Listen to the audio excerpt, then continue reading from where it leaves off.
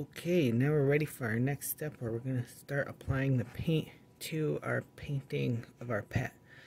Um, I just started off with some of the primary colors here and I also have black and white and I have a few different size brushes. Oh, this is acrylic paint.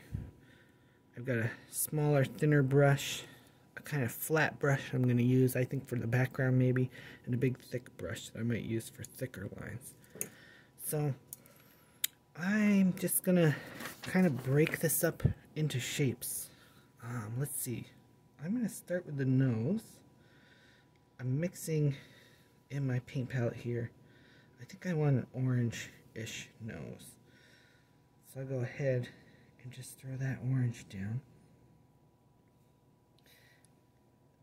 that looks pretty good here. Oh, I want some red, like right up here. So you can see his nostrils. Maybe I'll put a little red here so it gives it a little more shading. Um, let's see. I'm going to rinse my brush because I'm going to re-dip um, right here. And when you're using acrylic paint, you probably don't want to get this on your clothing. And you can thin it out if you want, or you can keep it, um, thin it out with water a little bit, or you can keep it nice and thick like I have been doing. So now I'm just going to try and find some lines and shapes that I like. And I'm just kind of having fun with the paint here I kind of saw this curve for his eye.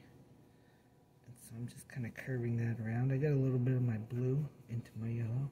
It's giving it this kind of nice green sheen here. Okay. And I'm going to kind of block this off into shapes. And then I'll put some different patterns on my shapes. Or fill them in just different whole colors. So see how I'm just kind of having fun here blocking out these shapes. I'm kind of trying to follow what I know about um, dog's face like this, but I'm also mostly just having fun. So let's see. I think I want more orange. I'm going to put some orange right here. Well, maybe I'll do like orange stripes.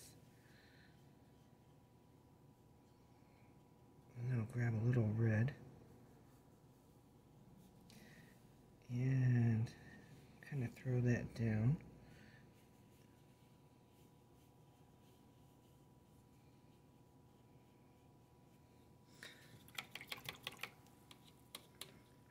Get some blue here. I'm going to put some blue, a lot of blue right here, kind of globbing it up. I'm going to grab a little bit of my red and kind of mix it on the page. It's kind of turning a bit purple. I'm liking how that looks. I'm using my brush to get kind of this nice furry texture here. Um, I actually may want to throw some purple down here. Just kind of balance my picture out a little bit so that it's not too much purple in any one spot and your eye will kind of flow through the painting. Let's see. I think I need more green. Mix a little green here. Let's kind of fill this in. Green. Oh, I'm going to bring this green all the way here.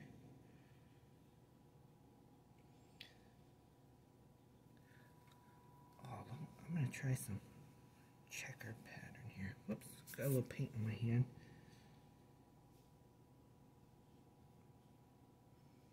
So I'm using those shapes to kind of block out where I might want to paint some patterns. So I'm filling in my checkerboard here. Let's see. I'm going to put some red down because it's a complementary color of green and just see how that looks here when you're painting, kind of are pushing the edges with your paintbrush And so something to kind of keep in mind as you're applying paint to your picture. That looks interesting. I'm actually going to take some red and just dab some dots right here.